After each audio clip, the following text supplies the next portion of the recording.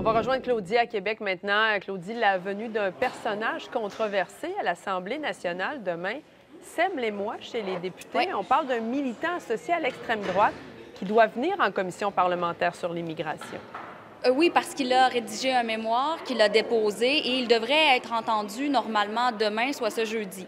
Euh, la personne en question, il s'agit d'Alexandre Cormier-Denis, qui est très actif euh, notamment sur les réseaux sociaux. Maintenant, sa chaîne YouTube a été bloquée, mais il a un site Internet. Il se décrit lui-même, et là, je vais me référer à mes notes, comme un ethno-nationaliste.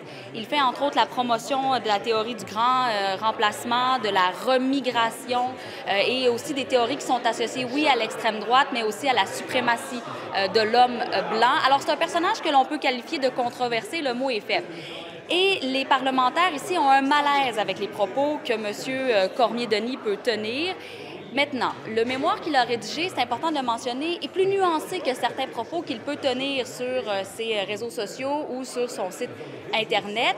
Et il faut savoir que lorsque euh, un groupe ou une personne dépose un mémoire lors d'une commission parlementaire, normalement, euh, d'emblée, il peut être invité à venir le commenter.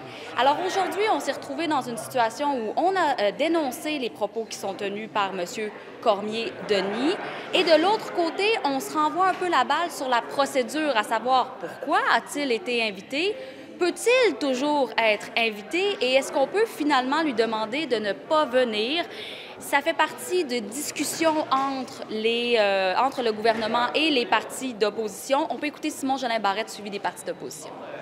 En fait, si tous les groupes parlementaires sont d'accord pour qu'il ne, ne vienne pas, oui, on a le pouvoir de ne pas l'inviter. Au moment où on a fait les convocations, mon bureau a fait les vérifications avec tous les groupes parlementaires pour savoir s'ils voulaient l'entendre.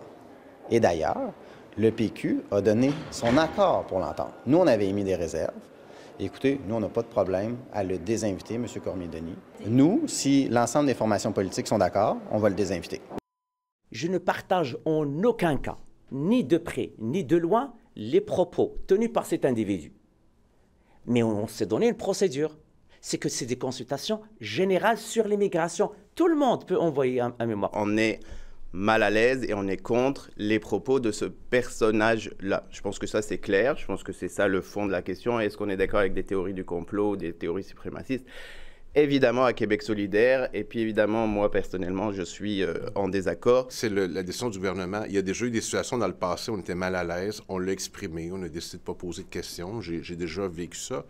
Mais effectivement, euh, ultimement, c'est pas nous qui allons commenter une décision qui ultimement appartient à la CAQ.